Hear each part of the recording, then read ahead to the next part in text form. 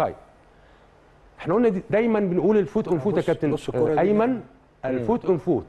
وهنا هو ما لم يحتسب. تعال نشوف بقى محمد عبد المنعم بص الدوسة فين؟ ركلة جزاء هنا شوف هنا بس. اقف ركلة جزاء foot on foot.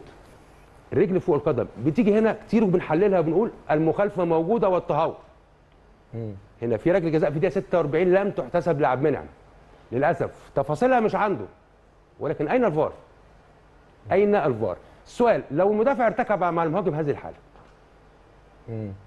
أو العكس نشوف هنا لاعب تسعة لاعب بيراميدز هنا نرجع تاني نشوف هنا القدم فوق القدم والدهس موجود ولكن القرار بص الحكم فين يا كابتن؟ حكم النهارده واقف ما بيتحركش يا كابتن آه، أيمن.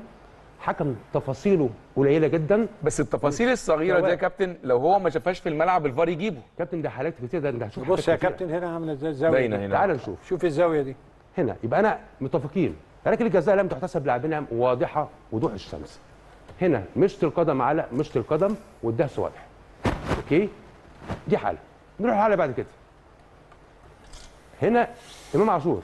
وخلي بالك من امام عاشور وشوف حاجتين اتنين يا كابتن قبل ما نشوف اللعبة هنا. شوف الايد من فوق والركبة من تحت.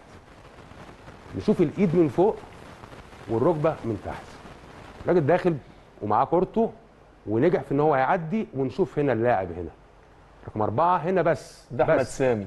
بس يا كابتن. دي زاوية بتقول في ايد من فوق. تمام يا كابتن؟ تمام؟ نمشي. ادي شد.